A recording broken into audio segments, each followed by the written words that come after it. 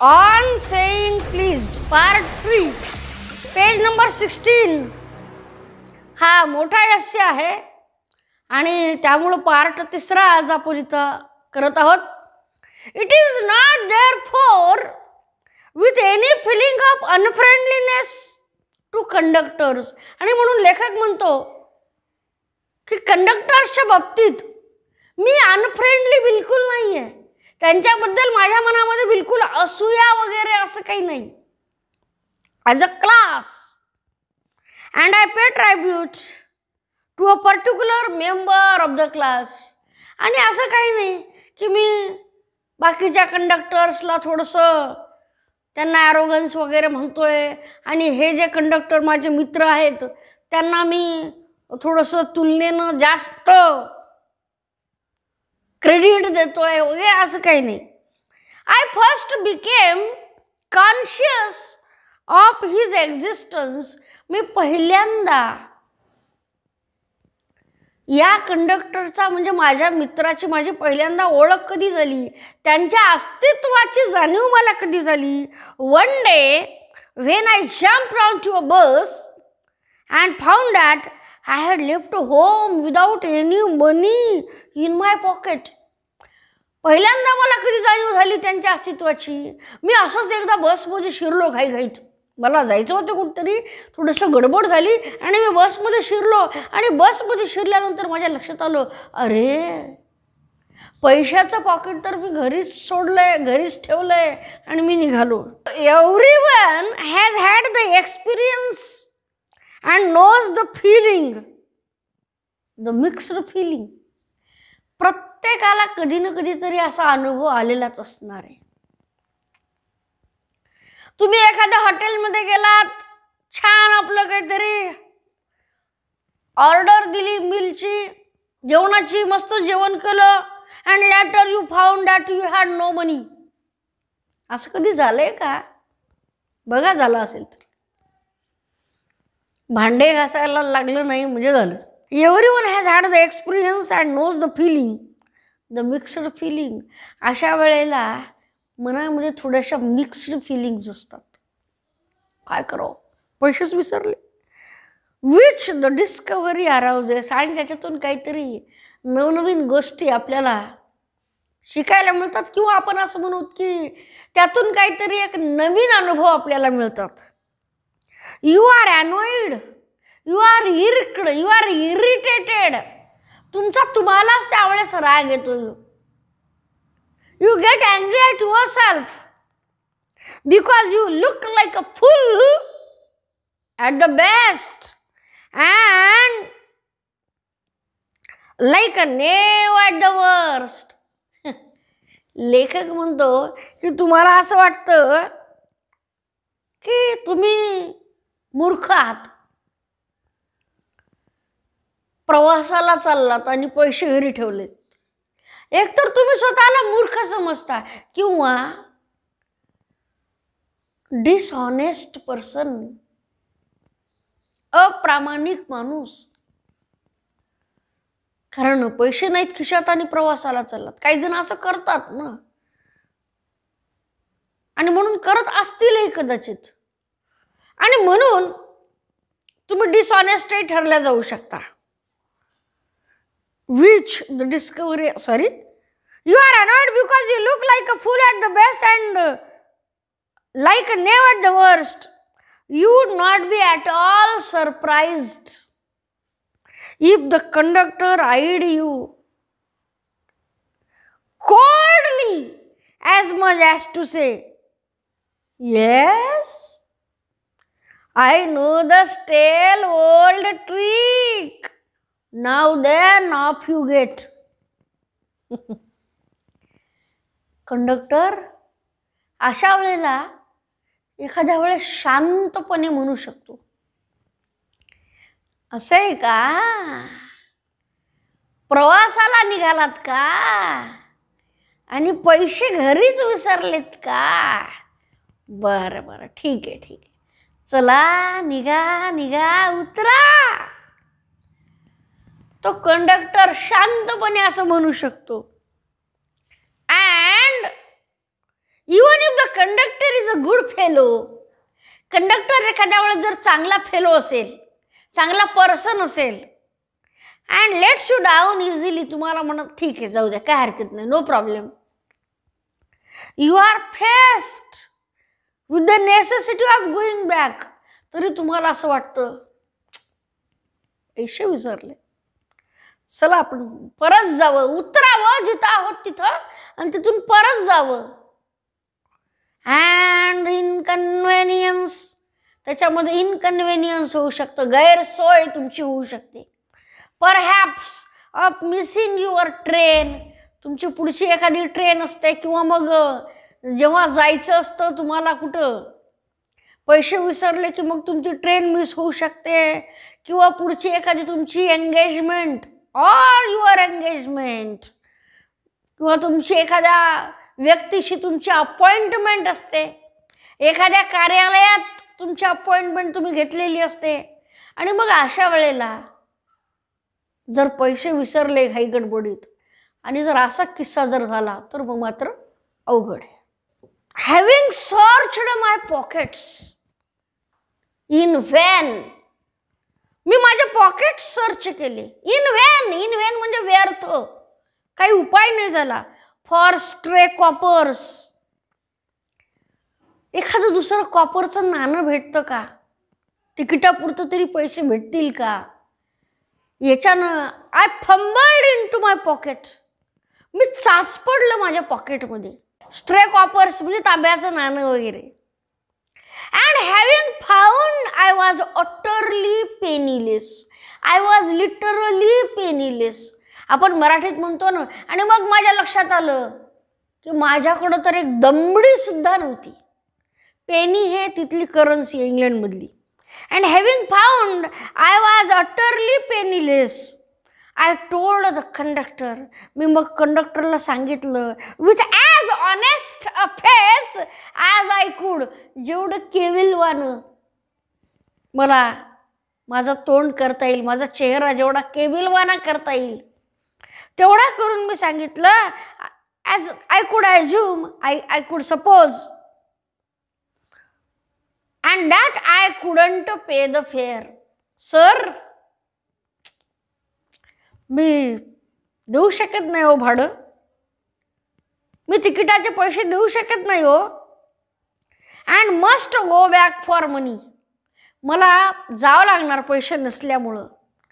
O you needn't get off तुम्हाला बाहेर जायची गरज नाही तुम्हाला उतरायची गरज नाही बसमधून.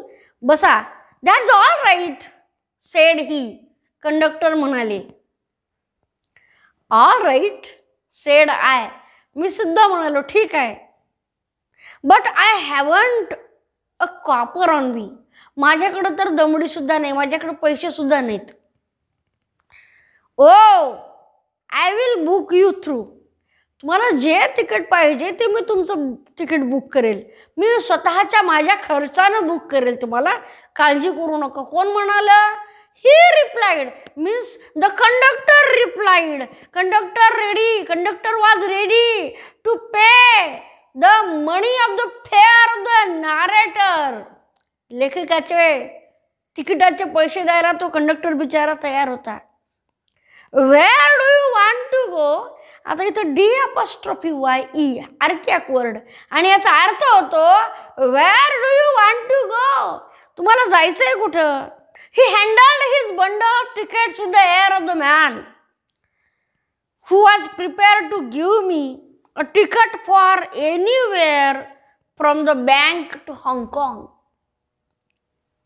बँकेकडे जा किंवा हाँगकाँगकडे जा कुठेही जा तिकीट माझ्याकडे आहे तुम्हाला मी तिकीट देतो पैसे विसरले असतील तुमचे काळजी करू नका I said it was very kind of him लेखक म्हणाला how kind of you sir for thank you for being kind with me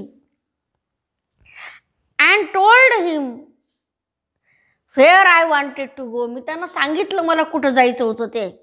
And as he gave me the ticket I said जेव्हा त्यांनी माझ्या हातामध्ये तिकीट ठेवलं मी म्हणालो but where shall I send the fare? You are giving me, you are booking my ticket. You are paying the fare of my ticket. But where should I return the money? या तिकिटाचे पैसे मी तुम्हाला कुठं पाठवू कारण ते परत द्यावं लागतील ना ओ you will see me some day all right होईल हो कुठं ना कुठंतरी भेट होईल आपली. काही काळजी करू नका. ही सेड चिअरफुली नाहीतर एखादा माणूस अहो तुमचं तिकीट भरलं ना आता गपचप बसा ना ओ you will see me someday all right काही हरकत नाही. कधी ना कधीतरी आपली भेट होईल. त्यावेळेला तुम्ही मला पैसे परत द्या. He said cheerfully he said pleasingly he said happily ते आनंदानं म्हणाले. ही टर्न टू गो आणि असं म्हणल्यानंतर ते जायला निघाले. And then luckily fortunately my fingers still wandering in the corner of my pockets माझ्या खिशामध्ये मी इकडं तिकडं शोधतच होतो. आणि शोधता शोधताच. काय झालं? When I was fumbling into my pocket for some coppers माझ्या पॉकेटमध्ये मी असं पाहतच होतो अजूनही. काहीतरी मी ठेवले असतील पैसे कधीतरी. Lighted on a shilling and account was square आणि असं पाहत होतो कुठेतरी पैसे सापडले का? आणि अरे हो सापडले. बघत होतो मी खिशामध्ये खिशामध्ये बघत असताना. काही शिलिंग्ज माझ्या आता तिथलं करन्सी आहे ते चलन. ते माझ्या हातामध्ये लागले आणि मी त्यांना म्हणलं अ conductor Saheb please please please I found the money please take this thank you sir त्यांना परत दिले मी ते पैसे. But that fact did not lessen इथं L E double S O N नाही. L E double S E N lessen म्हणजे कमी होणे. The glow of pleasure which so good nature and action had given me माझ्याकडं पैसे सापडल्यानंतर मला वाटलं की हो तुमच्याकडे पैसे होते तर कशाला तुम्ही हे केलं? नाटक करता काय? वगैरे वगैरे म्हणले का ते? नाही म्हणले. सापडले ना पैसे? ठीक आहे काय हरकत नाही. त्यांनी ठेवून घेतले. त्यांच्या चेहऱ्यावर तेच ग्लो तीच शायनिंग होती. तीच प्रसन्नता होती. प्रफुल्लितपणा होता. टवटवीतपणा होता. आनंदी चेहरा होता. A few days later my most sensitive toe was tramped on rather heavily as I sat reading on the top of a bus me double decker बसमधल्या वरच्या मजल्यावर. जेव्हा बसमध्ये एके दिवशी असं बसलो वर्तमानपत्र वाचत तेव्हा वर्तमानपत्र वाचत असताना अचानक कुणाचा तरी पाय माझ्या दुखऱ्या पायाच्या अंगठ्यावर पडला.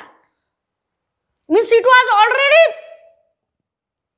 painful it was already hurt तो पायाचा टो म्हणजे अंगठा अगोदरच थोडासा दुखावलेला होता. समोरचा भाग पायाचा बोटांचा भाग.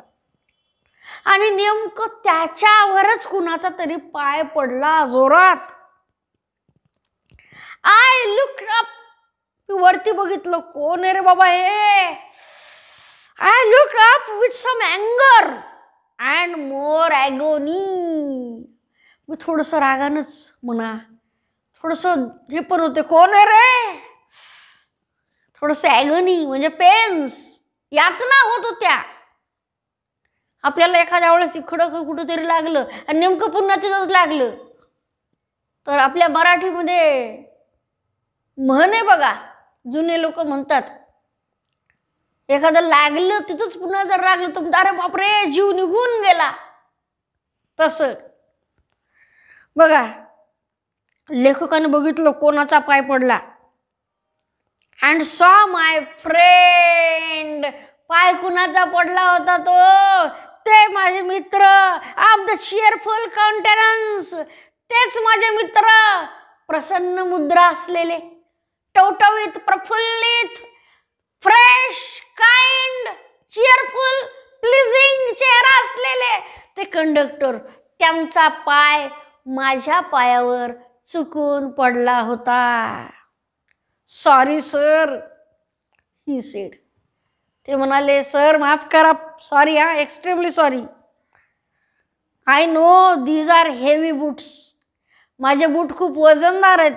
गाठम because my own feet get trod on so much and now I am treading on the other peoples to tread म्हणजे एखाद्याचा पाय चिरडल्या जाणे to put one's foot on his toes त्याला म्हणतात ट्रेड ओ बूट फार हेवी आहेत.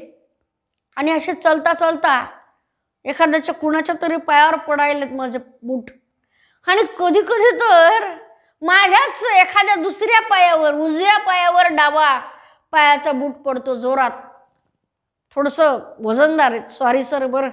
तुम्हाला खूप लागलं असेल वेदना झाल्या असतील. तुम्हाला मी दुखावलंय. की नाही hope I didn't hurt you sir जास्त नाही लागलं ना सर कंडक्टर म्हणत होते ते. कोणते कंडक्टर ते कंडक्टर प्रसन्न मुद्रेचे. ज्यांनी काही दिवसांपूर्वी तिकीट नसताना सुद्धा बसण्याची यांना परवानगी दिली होती. पैसे भरू लागले स्वतः त्याच कंडक्टरचा पाय पडला. बघा. He had hurt me actually मला लागलं होतं माझा पाय दुखावला होता. But he was so nice about it that I assured him he hadn't पण ते एवढे चांगल्या स्वभावाचे होते की मी त्यांना ॲश्युअर केलं खात्री केलं. ॲक्च्युली मला खरं म्हणजे लागलं होतं. I was feeling the pains my toe was hurt पण तरीसुद्धा मी त्यांना काय म्हटलं? No sir no problem I am not hurt मला काही लागलेलं नाही. ऐकी नाही? चांगला होता ना तो समोरचा व्यक्ती. म्हणून ॲडजस्ट केलं. After this I began to observe him whether I boarded his bus आणि म्हणून त्या दोन घटनेपासून कोणत्या दोन घटना? नंबर एक तिकीट नसताना हे बसू दिलं. काही नाही म्हणले. नंबर दोन पाय पडला. सॉरी म्हणले. एक्स्ट्रीमली सॉरी ते असं म्हणले नाही. नीट बसता येत नाही का हो तुम्हाला? असं म्हणले नाही. लेखक तो त्यांचा फॅनच झाला. लेखक जेव्हा जेव्हा त्यांच्या बसनं प्रवास करायचा तेव्हा तेव्हा त्यांच्याकडं ऑब्झर्व करायचा. लक्ष द्यायचा. आणि कारण चांगल्या सुस्वभावाचे होते. After this I began to observe him whether I boarded his bus whenever I boarded his bus and found a curious pleasure in the constant good nature of his bearing. त्यांचं जे बिअरिंग म्हणजे त्यांचं जे behaviour होतं त्यांचा जो good नेचर्ड स्वभाव होता गुड नेचर्ड पर्सनॅलिटी होती चांगल्या सुस्वभावाचे ते होते त्यावेळेसपासून मी त्यांच्याकडं ऑब्झर्व करत असे बारकाईनं बघत असे आणि मला त्यात आनंद वाटत होता he seemed seemed means appeared. He seem to have an in fund fund patience. Patience inexhaustible means unlimited किती संयम किती संयम. नाहीतर एखाद्याचा धीर सुटतो. एखादा जर पॅसेंजर फार चौकशी करणारा असला किंवा एखादा पॅसेंजर ऐकतच नसला तर एखाद्या कंडक्टरचा धीर सुटतो. हो, बसा ना ठीक. पण ह्यांचं तसं नाही. इन एक्झॉस्टिबल अनलिमिटेड पेशन्स खूपच संयम ठेवून होते ते. कुणाशीही वाईट वागायचे नाही. छान वृत्ती होती त्यांची. हेल्पफुल नेचर होतं त्यांचं. Fund of patience and gift for making his passengers comfortable त्यांचा स्वभाव हा त्यांच्या पॅसेंजर्ससाठी जणू एक गिफ्ट होतं जणू एक वरदान होतं.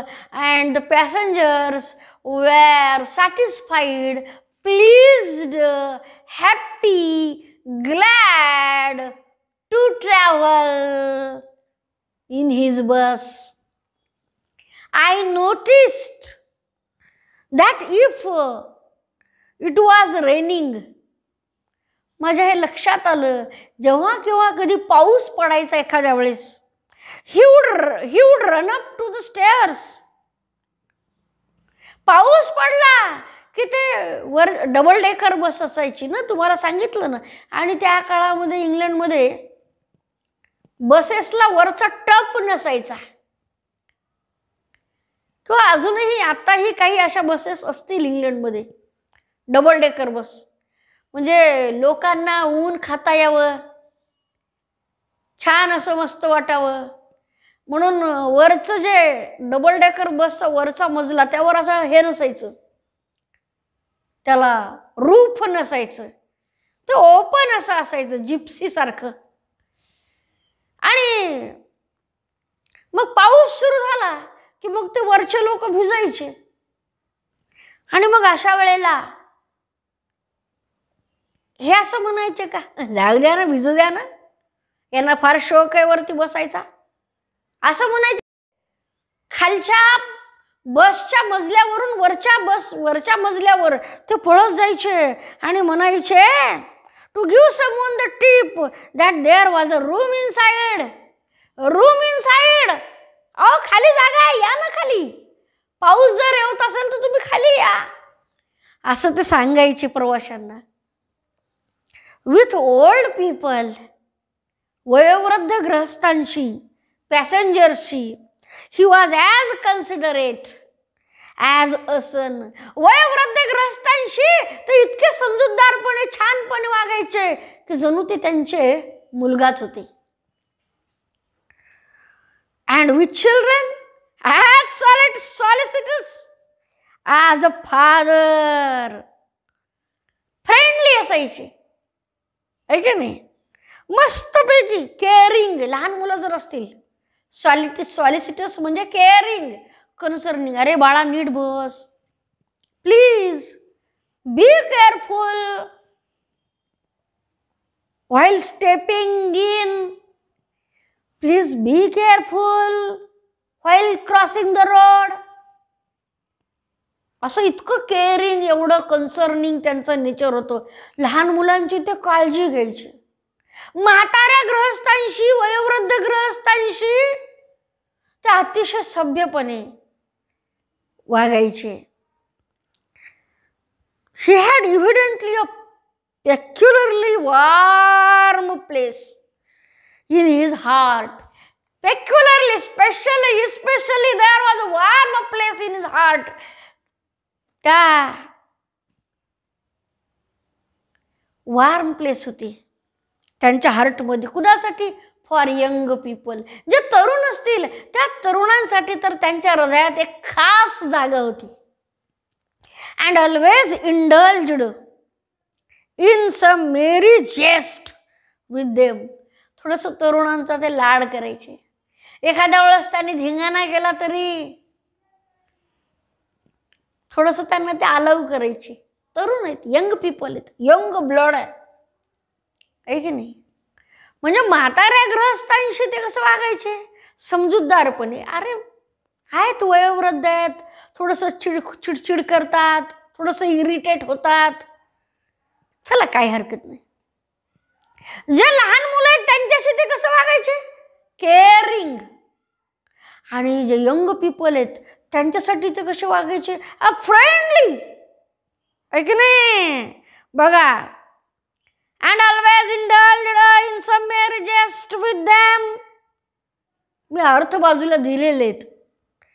तुम्ही व्हिडिओ थोडं स्टॉप करू शकता. आणि हे जे शब्द वगैरे आहेत ते तुम्ही लिहून घेऊ शकता. If he had a blind man on board बसमध्ये जर एखादे अंध ब्लाइंड ग्रहस्थ जर आले आले असतील it was not enough to set him down safely on the pavement त्यांच्या बसमध्ये एखाद्या वेळेस कोणी दोन्ही डोळ्यानं आंधळे असलेले अंध असलेले जर एखादी व्यक्ती आल्या असतील बसमध्ये तर फक्त पायऱ्या उतरून देण्यापर्यंत त्यांची भूमिका नव्हती. माझ्या बसमधून खाली उतरले ना बस झालं ठीक आहे. पण नुसतं त्या पेव्हमेंट पर्यंत फुटपाथ पर्यंत आहे की नाही? खाली असं उतरून दिलं यांचं संपलं का काम? नाही. He would call to Bill Bill त्या बसचा driver he would call to Bill in front to wait while he took him across the road or around the corner. Or round the corner. ते बिलला आवाज द्यायचे ब्ली Bill please wait I will help this young man to cross the road रस्ता cross करण्यात त्यांना मदत करायची एवढा चांगुलपणा What a goodness! Or otherwise, safely on his way. और otherwise safely on his way रस्ता क्रॉस करून द्यायचे किंवा त्यांना कुठं जायचं तिथपर्यंत ते घेऊन जायचे स्वतः इन शॉर्ट थोडक्यात सांगायचं तर I found that he irradiated such an atmosphere of good temper and kindliness that a journey with him was a lesson in natural courtesy and good manners. Natural कर्टसीचं एक नैसर्गिक सभ्यपणा दाखवणारा सभ्यपणा नाही बरं का some people show the show that they are very polite दाखवण्यापुरतं नाही. आहे की नाही? चांगला स्वभाव फक्त दाखवण्यापुरतं नव्हता. He was considered for the old people he was solid solicitous caring for the children he was friendly to the young people. And he was a helpful kind hearted man to the disabled handicapped people